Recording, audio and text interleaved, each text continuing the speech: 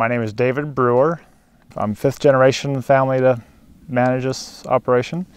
Uh, I was founded in 1883. We raise mostly wheat, cattle, barley, canola, mustard are the crops that we predominantly raise. A variety of forage crops for the cattle.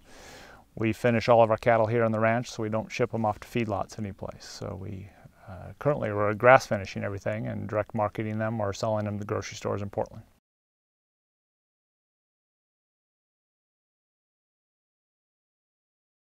I think to me there's more incentive almost to do the direct seed in the low rainfall environment because you just don't have the water to give away and certainly in this case we don't have the soil to give away. I, but I think in terms of low rainfall there's just as much to gain from a productivity standpoint by keeping that soil undisturbed and the residue on top of the soil. Um, and like everything else, attitude is everything. If you think it'll work, you'll figure out how to make it work. If you don't think it'll work, it probably won't work for you. so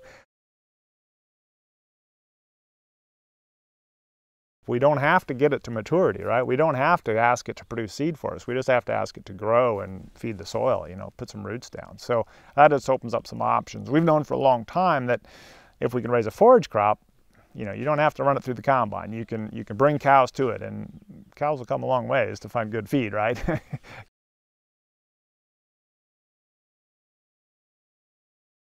I certainly don't want to be the guy that doesn't give the sixth generation the opportunity. So um, that's important. But uh, I think that um, you know we're, we're trying to look at it from a long-term perspective, and rather than just what's going to generate the most revenue next year, you know we're trying to just make sure that we're constantly improving the resource here and making sure that there's a better opportunity for the for the next generation.